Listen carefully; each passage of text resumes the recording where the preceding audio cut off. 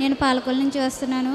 నా సాక్ష్యం ఏంటంటే నాకు వివాహమై వివాహం సంవత్సరంన్నర అయింది. పిల్లలు లేనప్పటికీ హాస్పిటల్కి వెళ్తే పిల్లలు పుట్టరమ్మని ఐవీఎఫ్ కానీ ఐవీఎఫ్ కానీ ఎడతది అన్నారు. ఇదిగో సంవత్సరం నుంచి సాగయ్య గారు ప్రార్థనకు వస్తుండగా నేను ఏడు నెలలో మొక్కుకున్నాను.